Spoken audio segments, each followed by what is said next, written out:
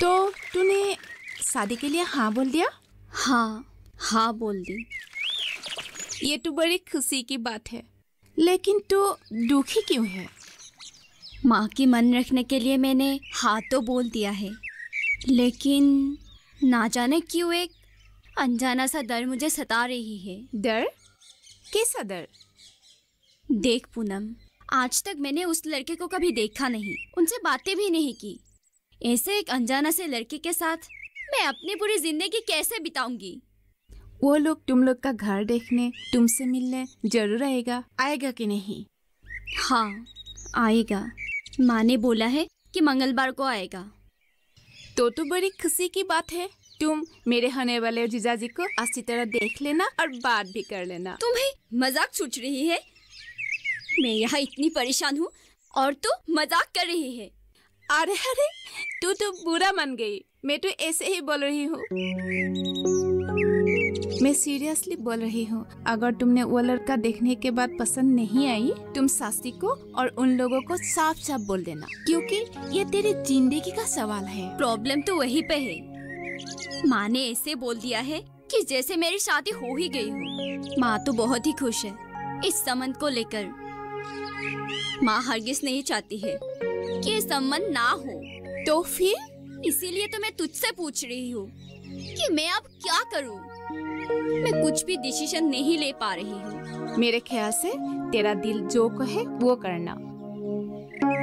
क्योंकि शादी दिलों का बंधन है। तू सही बोल रही है। लेकिन अगर मुझे वो लड़का पसंद नहीं आया और मैंने शादी के लिए इनकार कर दिया तो माँ के दिल को बहुत दुख पहुंचेगा। ये भी मैं करना नहीं चाहती हूँ। तो फिर तेरे दिल पर पत्थर रखकर तुझे हाँ बोलना पड़ेगा। तेरे हाथ पे दो ही रास्ते हैं, एक हाँ बोलने का और एक ना बोलने का। फैसला तेरे हाथ पर है। हाँ अगर तुम अपने अरमानों को तेरे माँ के लिए त्याग करना चाहती हो तो हाँ बोलना पड़ेगा। और अगर अपनी पसंद को अरमानों को ज़िंदा रखना चाहती हो तेरा मन जो कहे उसे ही करना।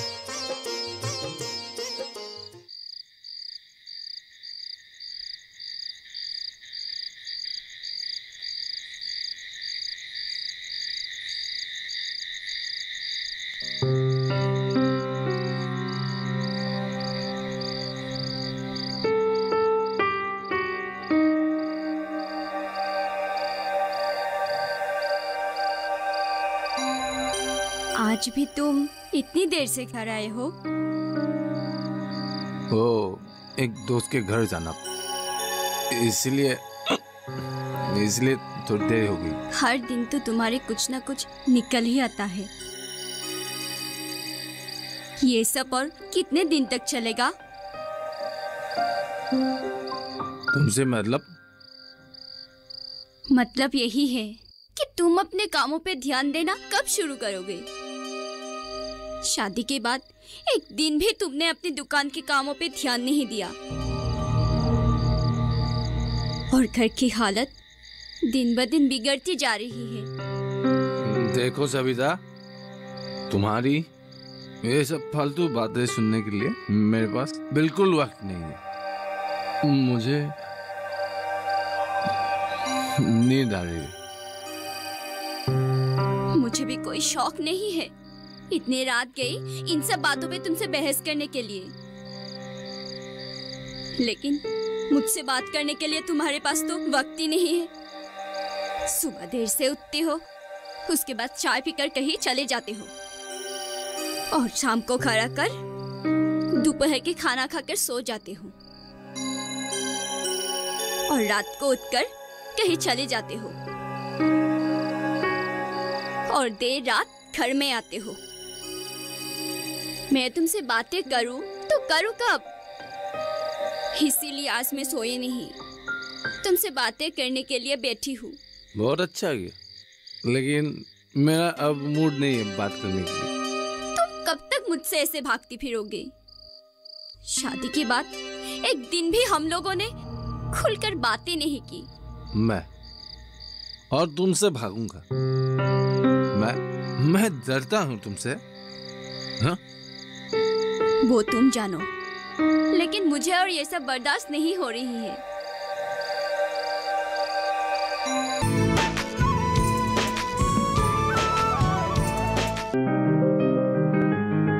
बीमारियों से कैसे बचेगी फ़सल?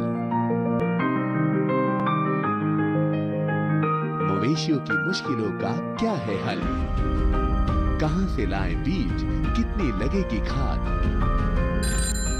किसानों के हर फ़ोन का विशेषज्ञ देंगे जवाब। देखिए हेलो किसान लाइव सोमवार से शुक्रवार शाम छह बजे।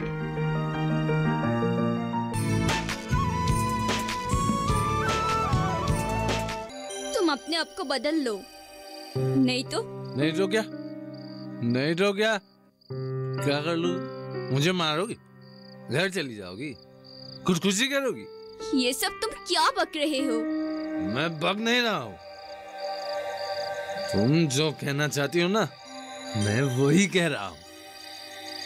तुम्हें जो करना है करो, मुझे कोई एतराज़ नहीं। तुम घर जाना चाहती हो खुद खुशी करना चाहती हो, या फिर पुलिस में जाके मेरे खिलाफ कंप्लेन कर दो, मुझे कोई परवाह नहीं। ये मेरी ज़िंदगी है। ये मेरी ज़िंदगी है मैं अपनी तरह से जीऊँगा इससे तुझे क्या मतलब है हम्म? तुमने शराब पिया है हाँ पिया है पहले भी पीता था अब भी पीता हूँ लेकिन शादी से पहले तो तुमने यही कहा था कि तुम शराब नहीं पीते हो हाँ, वो सब कहने की बात थी सबने बोला मैंने भी बोल दिया तुमने मुझे झूठ बोलकर शादी की बोला। तो अब क्या कर लो बोलो। अब क्या कर लो हैं? कुछ नहीं। तुम सो जाओ। लेकिन एक बात समझ लो। आज के बाद मुझे समझाने की कोशिश मत करना वरना बहुत बुरा होगा। समझी? चल। अब चलो जाते हैं।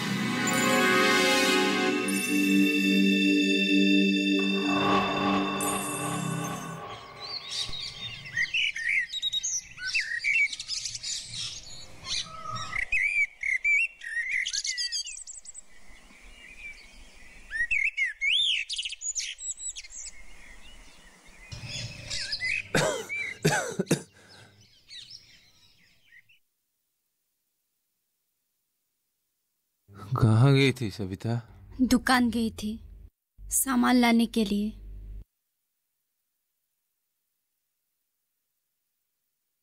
दुकानदार ने तो साफ़ साफ़ कह दिया है कि दस दिनों के अंदर हम लोगों ने उसके पहले का उधारी नहीं चुकाया तो वो हमें और सामान नहीं देंगे। तो तुमने क्या कहा? और क्या कहती? हाँ बोलकर जैसे तैसे आज की सामान ले आई। लेकिन उसके पहली का उधारी कैसे चुकाऊं? ये सोच कर मेरी दिमाग ही काम नहीं कर रहा है। ये सब तुम्हारी वजह से ही हुआ है। मैंने तुम्हें कितनी बार समझाया था कि ये शराब पीने की आदत छोड़ दो जुआ खेलना छोड़ दो। लेकिन नहीं तब तुमने मेरी एक नहीं सुनी। अब भुगतो अपने बुरे कर्मों का फल। अगर तुमने दुकान पे मन लगाकर काम किया होता तो हमें आज ये दिन नहीं देखने पड़ते। अब बस भी करो सविता। और कहने की ज़रूरत नहीं है। कैसे बस करूँ? कहीं पर तो मुझे मेरे दिल की भरस निकलने दो। नहीं तो मैं अंदर ही अंदर कूद कूद के मर जाऊँगी। और तुम्हें ये सब बातें सुनना ही पड़ेगा। मैं जानती हूँ। इन हालातों में तुम ये सब बातें नहीं सुनना चाहते हो। लेकिन अगर मैं तुम्हें ये सब बातें अब नहीं सुनाऊँगी तो तुम्हें कभी भी अपने बुरे कामों का पछतावा नहीं होगा। इसीलिए कह रही हूँ।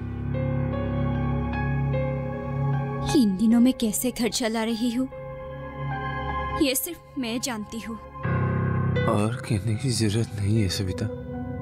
मुझे पता चल गया है। बस,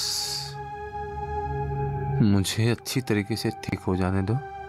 उसके बाद मैं सारी बुरी आदतें छोड़ दूँगा और मन लगा के काम करूँगा। और ये गलतियाँ ज़िंदगी में दोबारा कभी नहीं करूँगा। मैं कसम खा के कहता हूँ, सविता,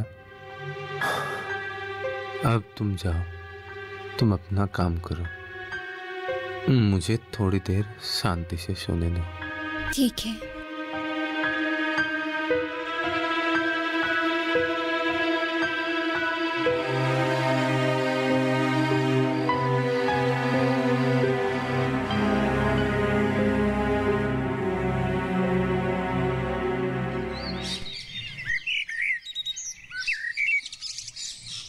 अरे सविता तू कहाँ जा रही है? अरे रोशनी तू यहाँ? हाँ किसी काम के सिलसिले में मैं यहाँ आई थी। और तेरी शादी तो इसी गाँव में हुई है ना? हाँ। और शादी के कितने साल हो गए? दो साल होने को आया। दो साल? और बच्चे? नहीं अभी तक तो नहीं है। अच्छा लेकिन तुम इतने दुखी क्यों दिख रहे हो? क्या बात है? कुछ हुआ है क्या? नहीं। और अपना ये क्या हाल बना के रखे हो? ऐसे तो कोई बात नहीं है। लेकिन लेकिन? लेकिन क्या सविता? मतलब तू अगर सब कुछ जानना चाहती है तो तुझे पहले से ही बताना होगा। ठीक है फिर कहीं चल के हम लोग बात करते हैं। चलो। हम्म चलो। चलो चलो।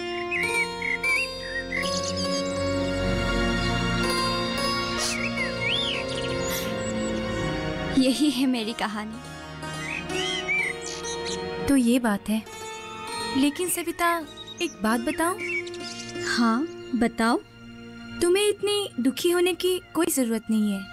अभी भी ऐसे बहुत सारे रास्ते हैं तुम्हारे पास जिनके ज़रिए तुम अपनी ज़िंदगी सुधार सकती हो। लेकिन मैंने तो हर तरीके से रास्ता अपनाया। नहीं नहीं सविता हर तरीके से नहीं। तो ऐसा बोल सकती है कि बहुत सारी तरीके से। मतलब? मतलब यही है कि ऐसे बहुत सारे रास्ते अभी भी खुले हैं। और मुझे लगता है तुझे इसके बारे में जानकारी नहीं है। कौन से रास्ते? तुम्हें नहीं पता कि हमारे सरकार ने देश के हर एक महिलाओं को अपने पैरों पे खड़ा करने के लिए ऐसे बहुत सारे योजना शुरू की है। और जिनके ज़रिए अभी वो महिलाएँ अपनी जीवन को एक कुशल गति में ले जा रही है। जैसे?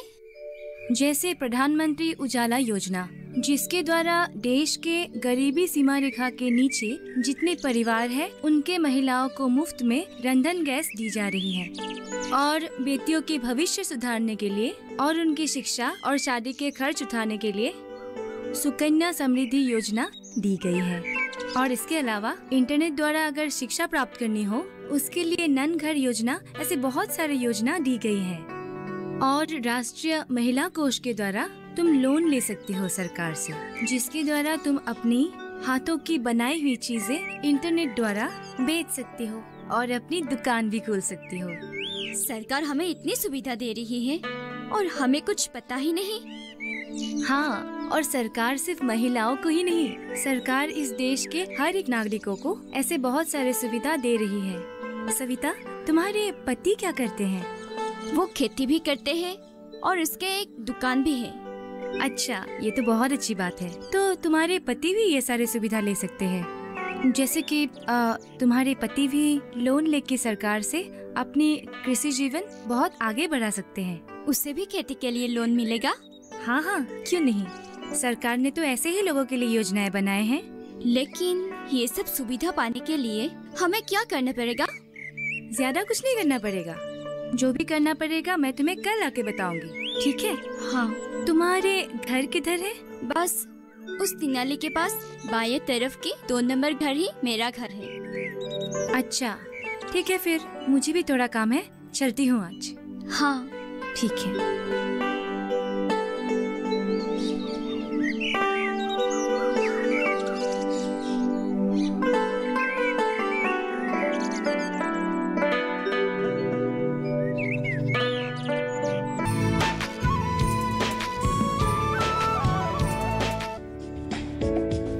कामयाबी है, अन्नदाता की।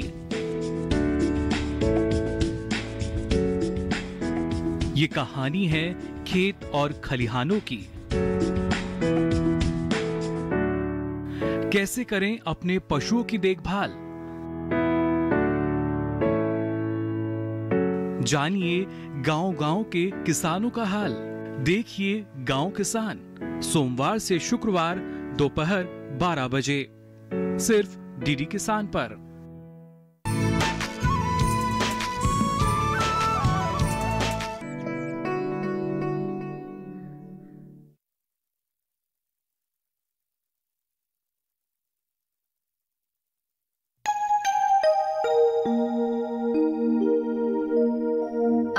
अच्छा सविता आ, मुझे लगता है तुम्हें बकुलतले गाँव में जो प्रधानमंत्री दक्षता विकास केंद्र है वहाँ पे जाके किसी विषय पे प्रशिक्षण लेनी चाहिए। और प्रशिक्षण खत्म होते ही तुम्हें महिला कोष के ज़रिए लोन लेके अपनी सिलाई की दुकान के काम शुरू कर देनी चाहिए। और तुम्हें तो सिलाई बुनाई आती ही है तो वहाँ पे प्रशिक्षण संपूर्ण होते ही महिला कोष के ज़रिए तुम्हें एक लोन लेकर अपनी सिलाई की दुकान के काम शुरू कर देनी चाहिए। क्या कहती हो? हाँ सही कह रही हो तुम। और आप भी आपकी ठीक होते ही मैं आपके कृषि लोन के बारे में बात करूँगी। और मुझे पूरा विश्वास है कि आपको कृषि लोन ज़रूर मिलेगा। और लोन मिलते ही आप अपने कृषि का काम और अच्छे से कर पाएँगे। और अपना खेती बाड़ी करके घर भी चला सकते हैं। हाँ ठीक। और सविता अब मैं तुम्हें समझाऊँगी कि ये सब करने के लिए तुम्हें किन किन चीज़ों की ज़रूरत होगी।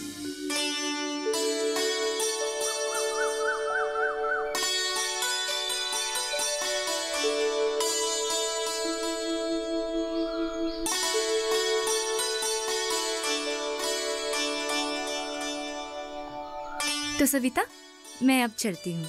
हाँ। और मैं तुम्हें परसों दक्षता विकास केंद्र में मिलूँगी। ठीक है? ठीक है। जी नमस्ते।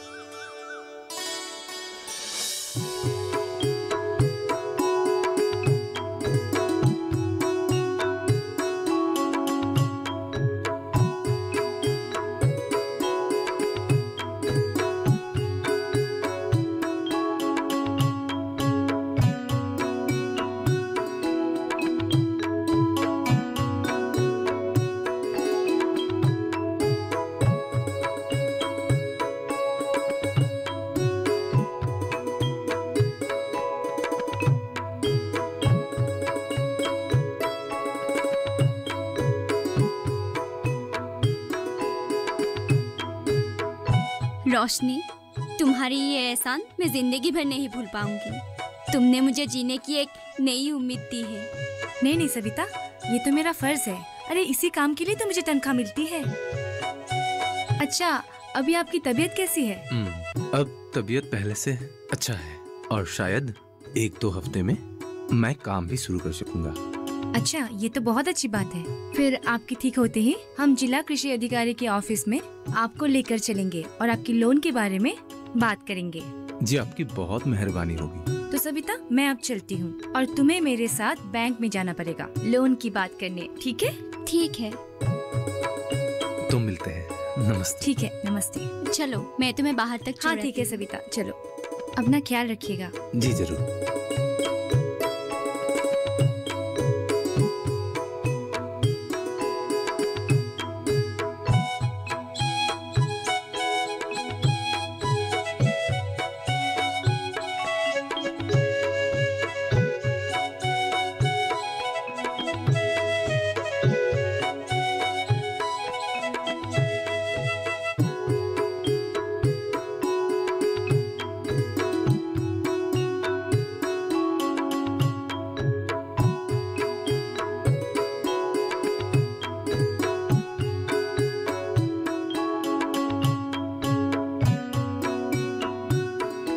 सविता ने दक्षता विकास केंद्र में प्रशिक्षण लेकर और महिला कोष से लोन लेकर अपनी सिलाई की दुकान खोल लिया और उसकी दुकान खूब चलने लगी।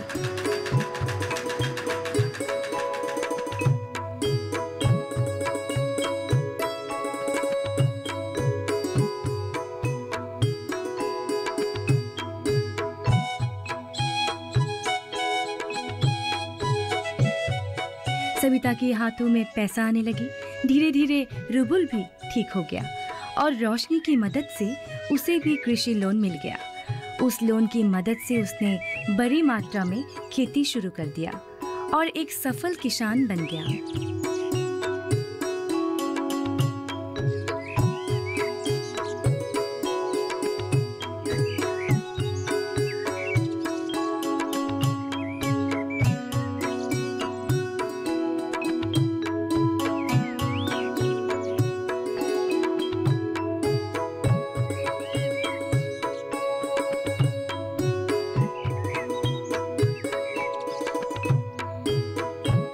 सरकार की योजना की मदद से आज सविता और रुबुल और उनके परिवार एक कुशल ज़िंदगी बिता रहे हैं। सविता ने अपने कामों के ज़रिए फिर से ये साबित कर दिया कि एक औरत अगर सबल हो जाए, सफल हो जाए तो वो बहुत कुछ कर सकती है। सविता नारी सबलीकरण की एक मिसाल बन गई।